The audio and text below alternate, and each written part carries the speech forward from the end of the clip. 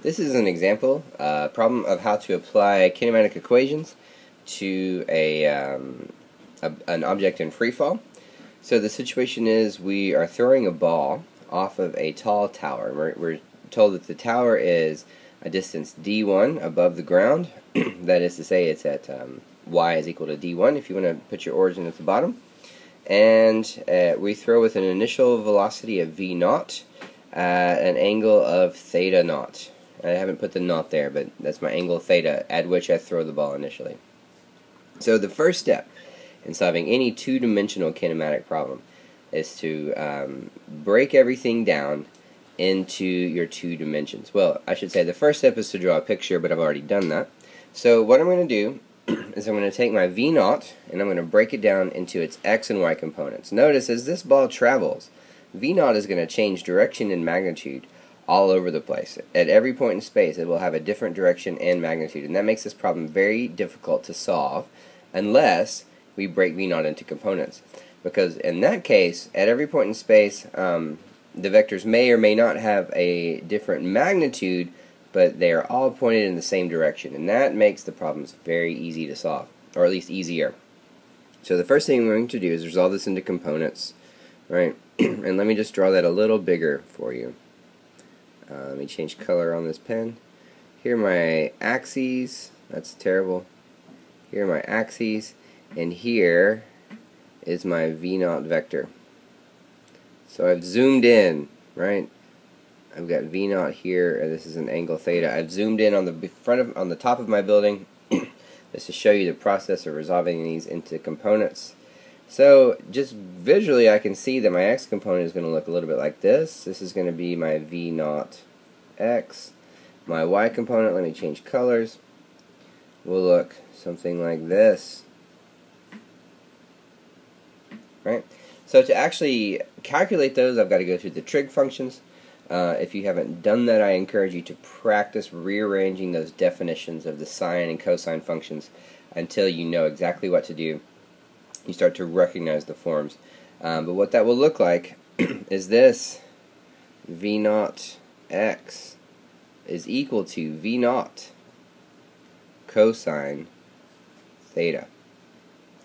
And V naught y is equal to V naught sine of theta. Right? Um, that's just simple trig functions. Again, if that is if that's unusual to you, if you look at that and don't know what I did, please go through the definition of trig functions uh, and rearrange get practice rearranging those equations. so now this is good stuff. I have an initial velocity in my x direction. I have an initial velocity in my y direction, and I can solve the system for lots of information.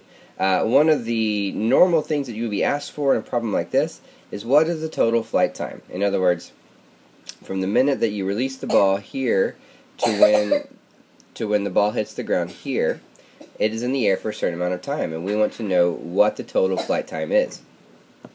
So let me go to a new slide and write down some kinematic equations. so, well, sorry, before I do that, uh, we're going to follow the same strategy that we've been following in solving two-dimensional problems. We're going to break it up into two pieces a natural place to break up any uh, uh, projectile motion problem is at the point right here where the ball reaches the apex of its motion. This is a natural point because at that point, Vy right there is equal to zero. This is when, if you throw a ball straight up in the air, this is when the ball comes to a rest before coming back down. Uh, in the y direction, this is exactly what happens. The velocity of the y uh, the, the Vy component is zero at that point, and that's why we like it. So the first thing I'm going to do in trying to figure out the total flight time of this object is solve from my time to the apex. So now, let me go to a different slide. so I'm going to solve for t sub a, that stands for apex. This is what I want. And what I'm going to get, or how I'm going to do it, is I'm going to look at my kinematic equations. I'm going to figure out, is there one that has the information that I have at my disposal and uh, only one unknown in it. So let me write down what I know. Knowns. I know V naught x. I know v naught y. I know d1, although that might not be important for this for this particular problem. And I also know a y. Now you might say, well, what are you talking about? There's no AY on here. That's true, but this is in free fall, right? We're going to do things like ignore air resistance. The only thing uh, affecting it is gravity. So I know, because it's in free fall, that my AY is equal to minus G. I also know what my AX is. And again, you might say, what are you talking about? There's no AX here. Uh, and so I will say that, again, we're in free fall. There's only gravity acting on this thing. Gravity acts downwards. It acts wholly in the y direction. And so my x motion will be unaffected by gravity. So I know my ax, a sub x, is equal to 0. Okay? So now I've got what I know. I'm going to look at my kinematic equations. I'm going to figure out is there something there that I, um, that I don't know? Uh, or is there, is there something in there that has one thing I don't know and everything else I know? And in point of fact, there is. And it's this equation here. V final is equal to V initial plus AT. So I said a while ago that at this point, at the apex of its motion, this point I've labeled right here, uh, its velocity is zero. So that's actually what I'm going to use for my final velocity. Because remember, final just means where I'm stopping looking at the motion, and I'm stopping at the apex. My velocity final is zero. My velocity initial, I know, is v naught y and my acceleration and I should say let me go ahead and put this in v naught y I've calculated let me go back to my previous page calculated v naught y right here it's just v naught sine theta lots of v naughts running around don't let them confuse you v naught sine theta and over here my knowns, I should put theta I know what theta is I also know what my acceleration is. My acceleration is minus g. So this is nice. I'm, I'm actually looking for t to the apex, and I have this equation, which gives me t, and I know everything else in there, right? So if I rearrange this equation, let me just draw a box to get rid of, to show you what I'm doing.